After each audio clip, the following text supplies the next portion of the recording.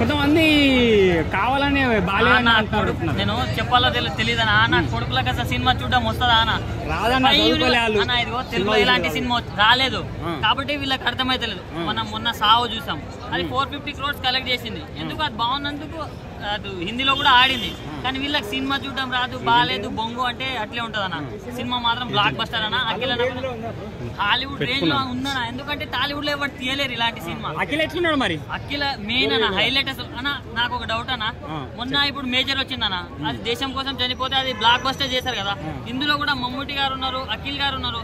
వీళ్ళందరూ దేశం కోసమే కదా నా ప్రాణాలు ఇస్తున్నారు చాలా బాగుంది. నా కాన్సెప్ట్ బాగుంది కానీ డైరెక్షన్ ఏంటో మిస్ అయినట్టు అనిపిస్తుంది. కానీ దాన్ని క్లైమాక్స్లో ప్రీ క్లైమాక్స్లో ఇంటర్వెల్ బ్యాంగ్ మంచిగా కవర్ చేసిండు అన్న. సో మూవీ మాత్రం ఓవరాల్గా చాలా బాగుంది.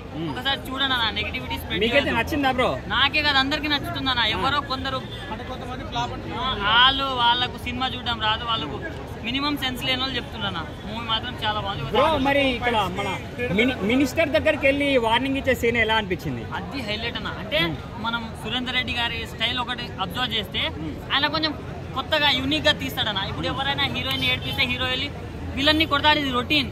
కానీ ఈడ అన్న కొట్టాడు. కొట్టించుకొని ఆయనలో ఉన్న వైల్డ్నెస్ చూపించుకొని అది హీరోయిజం అన్న.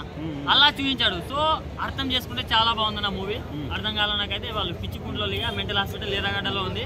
బుక్ చేసుకోవచ్చు. కొంతమంది సినిమా డైరెక్షన్ వేరే వాళ్ళతో చెప్పించి సురేందర్ రెడ్డి పేరు అన్న, వేసుకున్నారు వాళ్ళు వీళ్ళు ఏమలేదన్న సినిమా చాలా బాగుంది. అదేం నమ్మొద్దు. మీరు సినిమా చూడండి మీకు నచ్చుతుంది. డెఫినెట్గా నచ్చుతుంది. సాంగ్స్ ఎలా అనిపించాయి మరి? సాంగ్స్ అది రామకృష్ణ గోవింద అని ఒక సాంగ్ ఉంటుంది. అది నెక్స్ట్ లెవెల్ అన్న. ఫైటింగ్స్ ఎలా అనిపించినాయి మరి? ఫైట్స్ మెయిన్ హైలైట్స్ అన్న. ఎందుకంటే ఇప్పుడు గన్స్ ఎవడైనా యూజ్ చేస్తాడన్న. కేజీఎఫ్లో యూజ్ చేస్తారు. వాళ్ళు చాలా మంది యూజ్ చేస్తారు కదా. కానీ దాంట్లో వాడే స్టైల్ ఉంటుంది ఒకటి.